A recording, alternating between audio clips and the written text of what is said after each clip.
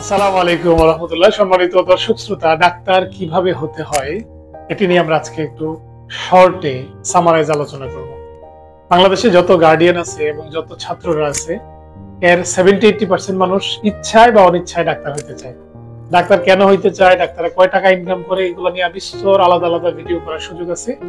আমরা শুধু আজকে আপনাদের সাথে আলোচনা করব ডাক্তার কীভাবে হতে হয় ওর টোটাল ওয়েটা কীরকম?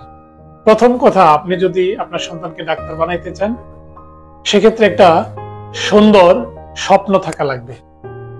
স্বপ্ন ছাড়া ডাক্তার হইলে কাঠখুট্টা মার্কা ডাক্তার হবে, চিকিৎসকদের বদনাম বাড়ানোর জন্য আপনার বাচ্চাও অ্যাড হবে। আপনার প্রিয় সন্তানকে চিকিৎসক হিসেবে গড়তে একটি সুন্দর স্বপ্ন দেখান। আমরা যে ধরনের কাঠখুট্টা মার্কা স্বপ্ন দেখি, আমি একদিন বড় ডাক্তার হব বড় ডাক্তার হওয়ার পরে গ্রামে যাব, গ্রামে গিয়ে মানুষের ফ্রি চিকিৎসা করব। এই ফ্রি চিকিৎসা করার আগে যে পঁচিশ লাখ টাকা খরচ হবে ডাক্তার হইতে, এই টাকা থেকে আসবে? এই চিন্তার মাথায় থাকে না। এই জন্য এই ধরনের বাজে স্বপ্ন দেখা যাবে না, যে স্বপ্নের সাথে বাস্তবতার কোনো মিল নাই। বাচ্চাকে ব্যালেন্স স্বপ্ন দেখান, যে তুমি সুন্দরভাবে হালাল ইনকাম করবা, তোমার মেধার মানুষের জন্য কাজে লাগাবা। তুমি যে পয়সার মালিক, ওর এক টাকাও ছাড় দিবা না। আর যে মোটামুটি মধ্যবিত্ত, ওর কাছ থেকে পুরোপুরি টাকা নিবা, আর যে অনেক হত দরিদ্র ওরে পকেটের টাকা দিয়ে দিবা। এই ধরনের বাস্তবমুখী স্বপ্ন দেখাবেন। দ্বিতীয়ত, আপনার সন্তান ডাক্তার হইতে হইলে এসএসসি এবং ইন্টারমিডিয়েটে বর্তমান বাংলাদেশের পার্সপেক্টিভ সহ সারা দুনিয়ার পার্সপেক্টিভে আপনাকে ওয়ার্ল্ড ক্লাস মেধাবী হতে হবে। অর্থাৎ ক্লাসে সবচেয়ে ভালো হইতে হবে। শুধু খালি রেজাল্টে না, মেধা এবং মননে। মনে রাখবেন ফার্স্ট বেঞ্চাররাই টুডে ওর টুমোরো ডাক্তার হয়। আপনার সোসাইটির সবচেয়ে ভালো ছেলে মেয়েগুলো ডাক্তার হবে।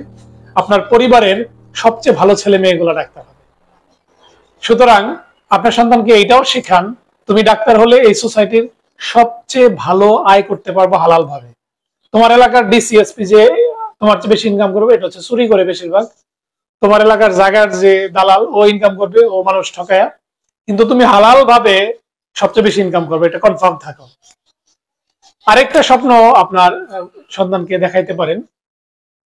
ডাক্তারি হচ্ছে পৃথিবীর যত ইঞ্জিনিয়ারিং আছে জটিল ইঞ্জিনিয়ারিং এটাকে আমি বলি most sensitive alive or biological engineering কেন? ধরেন, আপনার চোখের সামনে একটা যন্ত্র নষ্ট হয়েছে এই যন্ত্র যদি দশ বছর ফালা রাখেন, তাহলে সর্বোচ্চ যেটা হবে, জং ধরবে।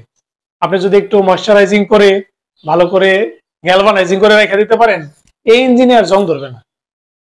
কিন্তু মানুষ যদি হাতে একটা পয়সা পয়সা থাকে, আপনি যদি মনে করেন আজকে থাক, কালকে থাক, শনিবারে, রবিবারে, তাহলে এই হাত থেকে শরীর পচতে লাগবে তিন দিন। অর্থাৎ আলু পচার চেয়ে তাড়াতাড়ি পচে মানুষ। সুতরাং মানুষের মতো জটিল ইঞ্জিন নিয়ে যারা কাজ করে, ওদেরকে বাংলা ডাক্তার বলা হয়। আরেকটা গুরুত্বপূর্ণ স্বপ্নে আপনি আপনার বাচ্চাকে দেখাইতে পারেন, সেটা হচ্ছে ইঞ্জিনের কিন্তু কোনো আত্মীয় স্বজন নেই। মনে করেন ইঞ্জিনের একটা পার্সোনাল নষ্ট ঠাস করে একটা হাতুড়ি দিয়ে বাড়ি দিলেন। ইঞ্জিনের কান্না করার কোনো বোধ শক্তি নাই। ইঞ্জিনের বাপ এসে বলবে না যে বাবা, আমার ইঞ্জিনের না। তো মানুষের যদি আপনি হাত ফালাইতে যান, একটা আঙ্গুল পচে গেলে কাটতে যান, ওর বাপের কাছ থেকে অনুমতি নেওয়া লাগবে, মায়ের কাছ থেকে অনুমতি নেওয়া লাগবে। ওর এলাকার চেয়ারম্যান এসে বলবে যে, ডাক্তার সাহেব, একটু দেরিতে করেন যায় না। অর্থাৎ এটা directly connected with emotion and circumstance যে ইঞ্জিনিয়ারিং অনেক জটিলতার পর্যায়ে অতিক্রম করে মেনটেন করে দেশের শ্রেষ্ঠ মেধাবী সন্তান ডাক্তাররা।